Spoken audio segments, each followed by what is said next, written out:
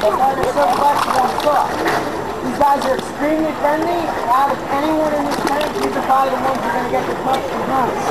Um, they're all females, so they're not territorial and they're very uh, mild-mannered because of that.